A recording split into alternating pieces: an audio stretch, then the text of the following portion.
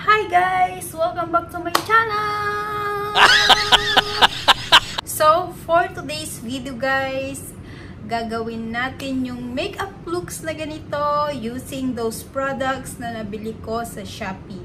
Kung napanood nyo guys yung recently na in-upload ko about Shopee haul affordable cosmetics, yun guys yung mga ginamit ko na products para ma-achieve ko yung looks na ganito.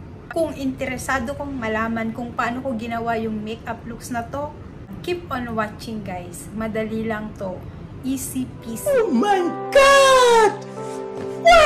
So guys, without a further ado, let's move to our video.